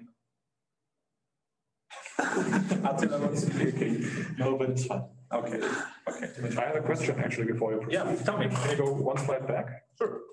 Can Llama handle the allocation for me as well? So can I just call the Llama allocation function and pass it to Alpaka? Or does it have to be pre-allocated by Alpaka and then I pass it to Llama? So uh, my predecessor, Alexander Matthes, who worked on this Llama library, he initially designed it in a way that you could have an Alpaka allocator and use that in Llama alloc view. So Llama would have like a mechanism of using Alpaka in the back to provide the buffer of memory. It turned out just writing, like the code for that allocator was a few hundred lines. It was huge. And I figured it would actually be much more generic if Llama just had an interface of like, give me a pointer somewhere and I'm going to make use of that, uh, that memory. Because then I don't need to come up with a, a buffer-based allocator, a shared memory-based allocator, a CUDA allocator, whatever, like whatever technology you're using. So that's like how I redesigned the API to be very, very generic on where this memory can come from. So no Llama on purpose cannot use Alpaka to, to get memory. And that's part of the design. So I can decouple those two aspects. Would, would, would, it be would it be possible to have an allocation policy, or, or is it what what uh, is uh, was before in Llama? This is what we had before in Llama. So if we go back to this uh, allocator slide, ah, okay. so there was an allocator, there was an alpaka allocator, uh, alpaka buffer allocator, and there was an alpaka um, shared memory-based allocator. But as I said, those implementations, they were, they were largish, and they were, of course, like specifically tied to Alpaka and the shared memory, Alpaka and the buffer. So if you would want to, let's say, you just use CUDA, because maybe you really want to use CUDA and not Alpaka, you would need to write your own allocator again with like all the gory details that works with CUDA malloc. And to free, free Llama from the burden of having to write these allocators, my decision was to just design an interface that can take a pointer to anywhere and then if you can make use of the memory that's behind this. Oh, okay. For, there for was me, a policy-based design. For me, your current approach looks like more than an reinterpret cast. Yes, and this is what's going to happen. So, so what you have seen here correctly is that I'm talking about buffers of bytes. So allocate bytes buffers. I'm not allocating float buffers or int buffer or like, like structured buffers. I'm just allocating pure storage. And Llama is then reinterpreting the storage and puts floats inside there. It puts uh, it puts doubles, int, whatever kind of data types you have in your program. It's going to reinterpret those bytes and it's going to put the values and lay out them there. That's true.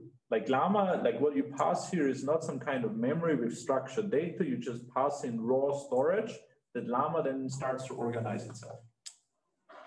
How do I know the number of bytes I need? Can I just call size of the Llama type definition? So a Llama mapping has a function that's like get blob size, and it tells you how much of memory you need to provide so that the mapping can map all the, the, the values that are described by array and datum domain into a linear chunk of memory. So the mapping is going to tell you how much memory do you need, so I can map all the values somewhere. Okay, cool. Yes, that's right. I didn't show this in this example. Okay, uh, one more question, actually. Uh, let's say I want to iterate over the x positions in the n-body example. Can Llama tell me if the x's are contiguous in memory? Like a compile time? Very well, like that's the fear. okay. no kidding, uh, no kidding. It's not on the slides, but that's a, that's a very valid point. Because also as a compiler, you're very interested. If you have a loop and you iterate over successive things, are those things contiguous in memory? Because if I know, like the floats that you're going to iterate over, they're all next to each other, I know I can vectorize. So this is an important information, it's an important property in a mathematical sense of those mappings, because a mapping essentially describes how I can map some kind of index into a linear memory address offset, like a linear memory offset. And I want to know, yes, from the way I iterate or the way I access the data structure, is that going to result in contiguous memory addresses? This is an interesting property. And what was the question? If Llama can, can tell me as a programmer if those. So Llama for now cannot tell you that. So Llama currently still relies that the compiler can see this. Mm -hmm. So Llama tries to like put this mapping fun functions like this, because this eventually is a, plus, a C++ function that implements this mapping. So Llama tries to make this mapping in a way that the compiler can see, ah, if my loop variable increases by one, like the address that comes out here increases by size of float. And the day compiler can say, yes, I know what to do. I can take, I can vectorize this. So Llama tries to make that possible for the compiler. But we are not there yet that like, I can see this as a property of the mapping function. Like ideally, I would like to ask the algorithm, how, you, how is your access pattern? I want to ask the mapping, how is your pattern of, of like mapping that to memory? Is that contiguous? And then maybe like really in part of the library already emit vector instructions or not for example. Like that would be very interesting, but I also think it's incredibly hard. Mm -hmm. Or maybe a debugging tool where you see, in, for example, this thing you showed in the browser where you see mm -hmm. colors, this can be vectorized and this. Mm -hmm. The one has debugging tools at, like, yes. other than this. What what do you use? Well, I uh, what debugging tools do I use? So um, honestly, I look at a lot of assembly these days. because because I think it's the fundamental truth. Um, you can also, of course, like, like, like print out the numbers of, of offsets that the mapping produces, for example, to get a feeling of like how the mapping behaves. I also like the pictures that I, I, I showed you before. Like for a, uh, a, mapping, I can ask them like dump your memory layout. So I can look at that and see, okay, this, this would make sense for the compiler to vectorize. I know the compiler cannot vectorize this because the mapping function is already too complicated for the compiler to grasp. So this is, I know, like I have some space still as a programmer where I need to get better at, at describing to the compiler that he can really vectorize here. That like there, there, there are blocks or chunks of eight pieces that you can always use in parallel. So I can make a better job here. I'm having a little trouble with the word debugger here, because for me, debugger means like runtime inspecting of the program. And something that Llama tries very hard to do is make those optimizations at compile time. So you want to like prove based on static information in the program that certain optimizations are possible. There's a whole lot of literature, and it's also quite interesting that, for example, measures the runtime behavior of a program. So like I, I really look like at every memory access and every memory cell touched in a program, and then I can make decisions based on that and like, like rewrite the executable or annotate it back into the source code, compile a better version. It's like some kind of profile guided optimization. There are interesting techniques for that, but Llama specifically tries to focus on a compile time solution. Does it answer the question? Yeah. Okay, great. Maybe another one. Yeah, tell me. So I got the impression that using Llama relies on having an accelerator that that, that you is is that correct? Um, no. So at least from my understanding of accelerator, an accelerator for me is another computing device that's not the CPU. Is that correct? Okay. Yeah, that's okay. what I meant. So you can use Llama in conjunction with GPU. Like you can have a Llama view that lives on your GPU and determines how your GPU is going to access the, the, the data in the GPU buffer. But Llama just works absolutely fine on your CPU. And the examples we've seen before on Compiler Explorer with the assembly, this is just normal CPU side code, nothing related to accelerators there. And this is a design goal for Llama to just be universally applicable on your CPU code, on your GPU code, or I have heard there are even people doing FPGAs and like weird stuff like that. Mm-hmm. So it should be universally applicable. So we try to make this standard C++ so we can use it together with many different technologies. So it shouldn't be tied to an accelerator. If it just works with CUDA, it would be really sad. Good. So we have around 15 minutes left. Um, let's maybe skip the mapping theory. Why? Because this is a chapter that I specifically intended for Michael, because Michael asked me a lot about this. Just to give you a brief overview, just tries to kind of like create a formalism, a formalism for that by, by saying like a datum domain. It's kind of like I can like numerate all of those, and then I have sets of like indices into this and my array domain that's going to form tuples and whatnot. And then I can define an index set and a mapping function. M is like maps an index set to some kind of offset set. It's like memory offsets. Then I can define a few helpers and no worries about this, but eventually I can define my mappings. Like this is like how I map array of struct, giving an array index and the datum index, how this is going to result in the memory address. Okay, as I said, like don't worry about that. I think I want to talk about this on a separate talk and especially also when Michael is here. Okay, some interesting observations.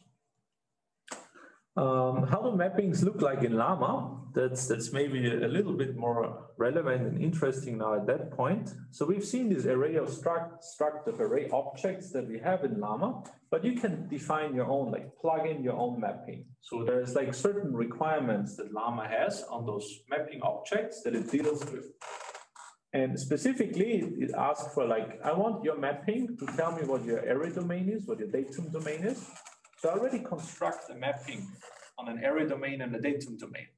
But then I construct this mapping somewhere outside and then I give it to a Llama view. And the Llama view asks the mapping, okay, what's the array domain? What's the datum domain? How many pieces of memory, like how many chunks of memory do you need to store this, this mappings? And what is the size of those chunks? Like usually in Llama, most mappings just use one chunk of memory, but we made the interface generic at the moment. So in theory, a mapping could decide, I'm going to map the data space you described to me into like seven chunks of memory, because why not? It, it could do that. So, so the interface is open to this. So the mapping tells you block count, how many chunks of memory do you need? What is the size of memory that you need for each of those blocks? And then the, the most interesting function, because this is what's going to determine where a thing is mapped to, is called get blob number and offset. And that's going to take a coordinate inside of this, this nested template structure. And it's going to take a coordinate in the area you're, currently asking for. So like it's going, if you ask for the i particle position x, this information will be passed in here. So you ask here, this will contain the value of this i, this i particle. This is like position X here, and then get blob num and offset tells you, okay, take this piece of memory, go to this offset. This is where you will find your value. This is what the mapping does. So this is the, the function of main interest. And I have here the, the entire definition of this mapping. And for you, it's mostly relevant to see that this is not 1000 lines of like ultra complicated C++, it still contains some, some templates and it might not be too easy to write for everybody. But this is basically what we need to change inside of Llama. So if you want to describe your own way of how data is mapped to memory, this is the piece of, of thing that you touch or you would change. And this is really the complete thing. So there's like nothing more that, that, that's hidden here unless if you help a function. And most interestingly here, when we map uh, such a datum coord and an array thing to memory, like specifically for the array of struct, like the computation would be, I take this n-dimensional array coord, I kind of linearize this into a linear chord, and I multiply it with the size of the datum domain, so like the size of the, the nested structure we have, and then I, I take a certain offset of that coordinate like into the struct inside. And this is the computation that, that gives you the memory address on where to look for your data. And funnily enough, this is also the same kind of calculation that your compiler would do. If you would just use a plain struct, you would just define a struct, then you have an array of those, and you would write array at position i dot pos dot x.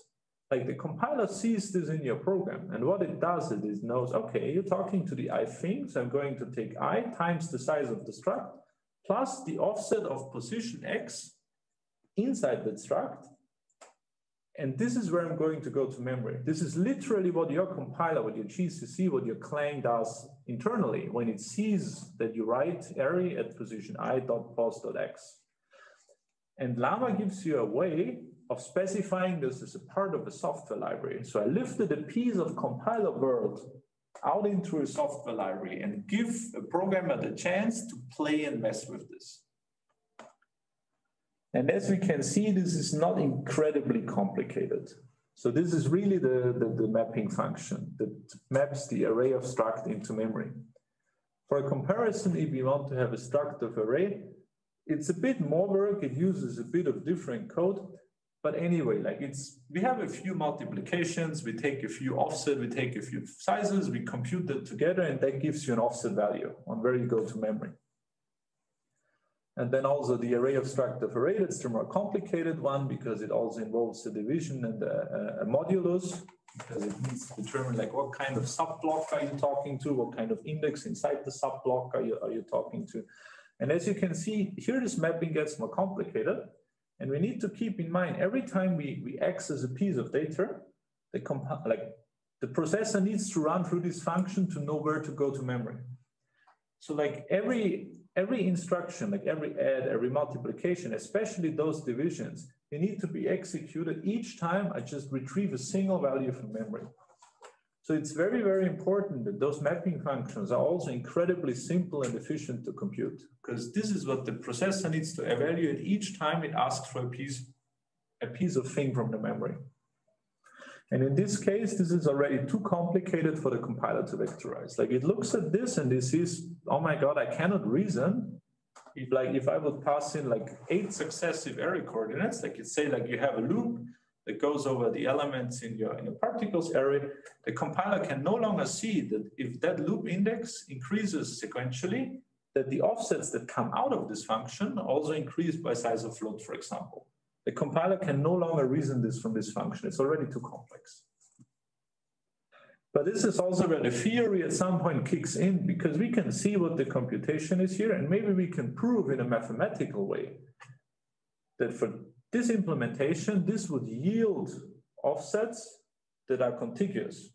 Like it would be really cool at some point, and I have a long way to go in my PhD about this, is like, can we prove given this implementation that increasing the array indices by one will yield an increase of size of element in, on the memory address. Because if we can prove that, we can just throw, like we can just force vectorize on top. Even if the compiler cannot see through the implementation of how we go to memory, I know this is going to be contiguous and I can force the compiler, you must vectorize here because I just know it's going to be in the right memory layout.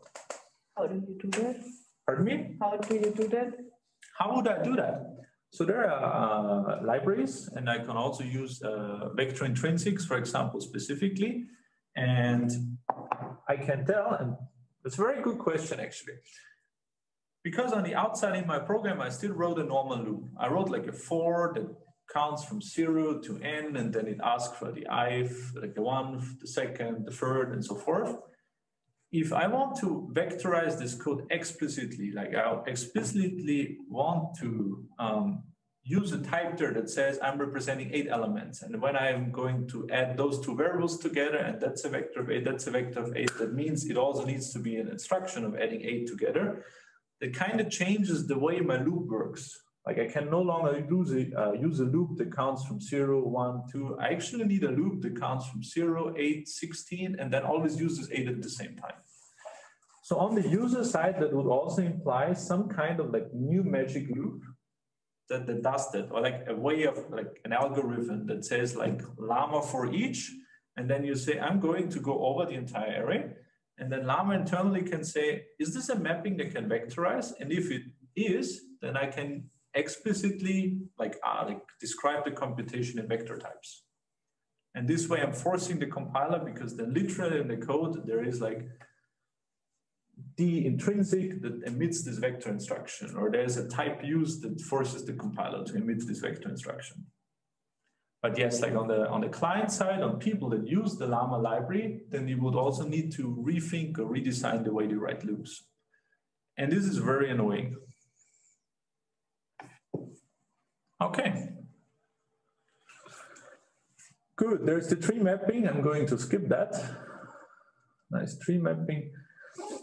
I also meant because you mentioned the, the, the debugger, there's also this nice idea because a mapping is essentially just an object with the requirement that I listed before. A mapping has this function like compute the memory address, give me the size of the block. It has some properties. I can like wrap things over it as long as they produce the same interface. And that, that, that's quite cool actually, because now I can define another mapping, I call it trace, and it can just take an existing mapping. It just needs to provide the same interface. Like, like the trace mapping has the same functions as another mapping, and then it just calls its inner mapping. And mathematically, that's the equivalent of just like calling the mapping function on the inputs of the other mapping. And it, this gives me a way of like, like, for example, adding instrumentation to, to mapping. Because every memory access that Llama does, it runs through the mapping. So each time you just access a single piece of data, it's going to go through the mapping. So I would just wrap like a thin layer on top of that. Like, like, like on each memory access, you would go through the thin layer and that would then go to the real mapping. So this gives me a way of like observing all memory access in the entire program. And that would give me a way of, for example, doing some kind of runtime profiling. Can you do that during compiling as well? You know I can do that during compiling. I'm, i mean, I cannot I cannot measure the amount of memory accesses because that depends on the yeah. like algorithm loop behavior. And, if you want a tool that tells you during compiling that this can be vectorized, mm -hmm. can you use something like this? Can you add a layer like this? Or? Mm -hmm. I don't think we can add a layer like this, but as I also said previously, like we, we were very interested in the properties of mappings depending on, on their implementation. So I would very much like to have something where I can ask, will this produce contiguous memory accesses given SOA? And then at compile time, I can look into SOA, I can look into the implementation of get block number and offset. And at compile time, I can prove in a way, this is going to be a contiguous access. And that would be a very interesting functionality but I cannot do this like with this, I just wrap, wrap myself over, over the other mapping. Okay, how would it look like if I would run that? It could then after the program tell me, okay, those were the amounts of memory accesses you did to those certain values. And that could already give me a clue because if I can, for example, can see that position is accessed twice as often as velocity. Maybe this could be interesting for me. Maybe I could say, okay, maybe I should like focus more on getting positions into caches or shared memory and velocity is not accessed so often, for example, then I can keep it in slower kind of memory. Like I could base decisions on, on this behavior.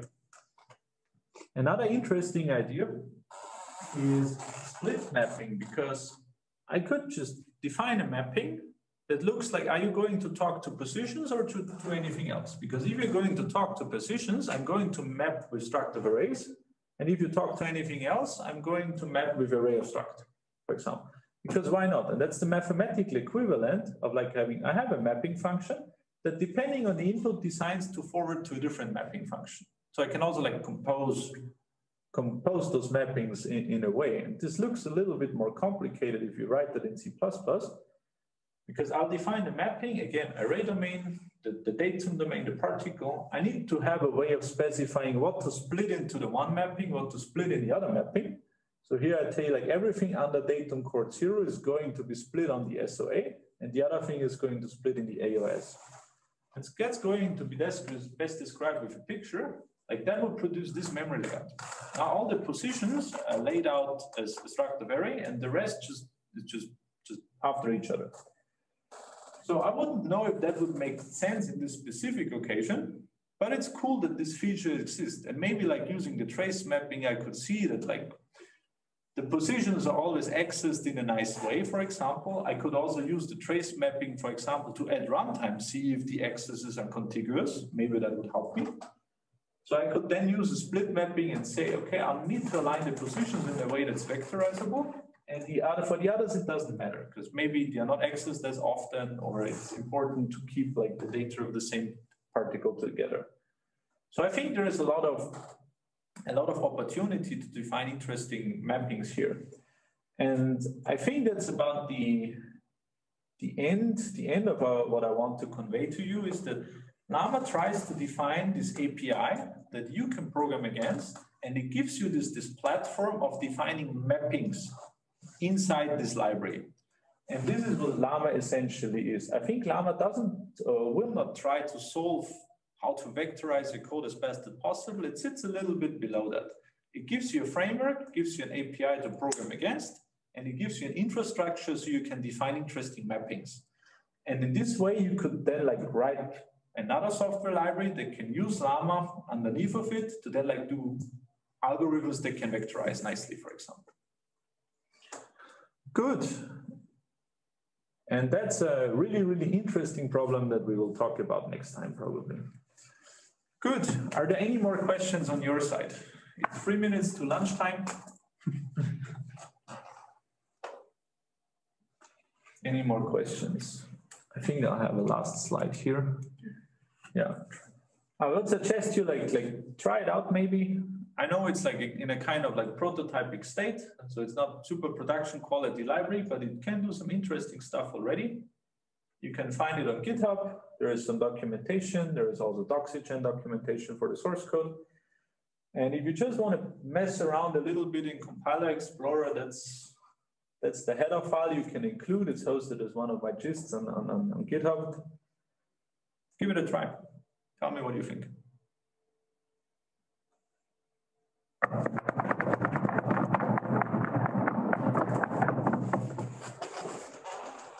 Very nice presentation. Thank you.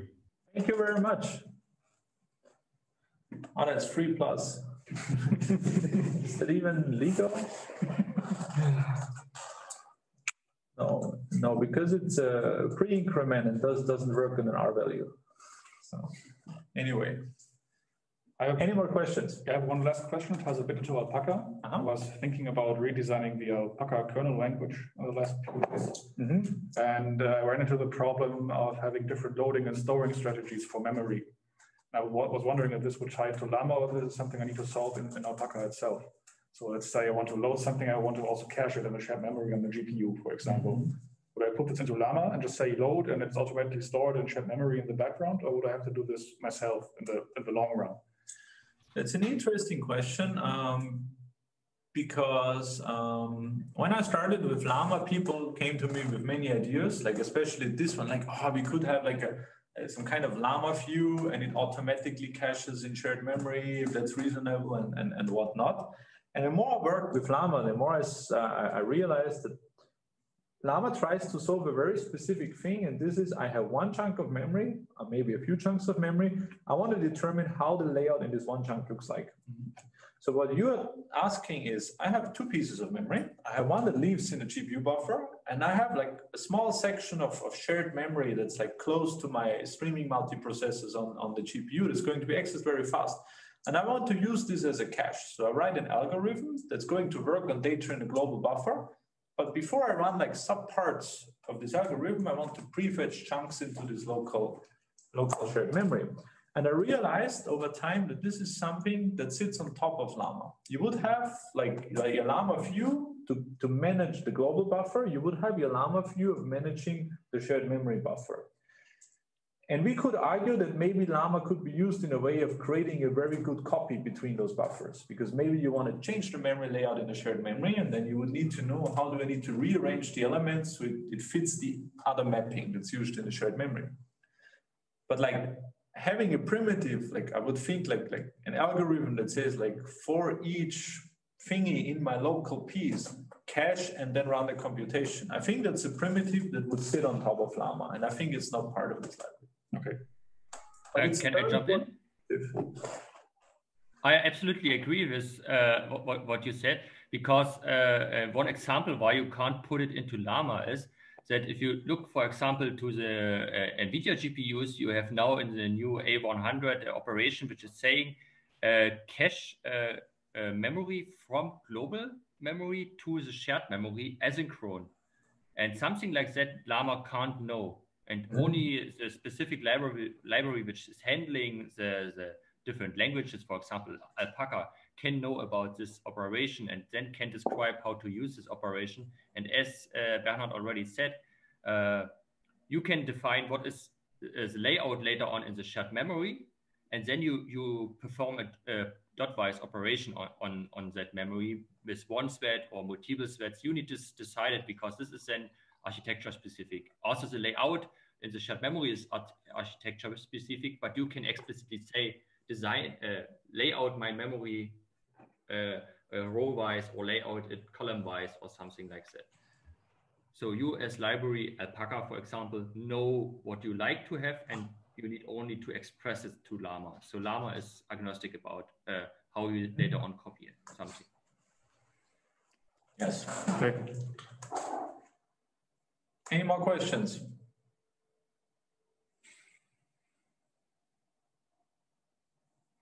And thank you, thank you very much for listening. I'm sorry that it was boring to one of you. Just kidding. I, I saw I saw two people fall asleep. I'm not going to point you out. okay. No, thanks for being here, and uh, have a nice lunchtime. Thank you.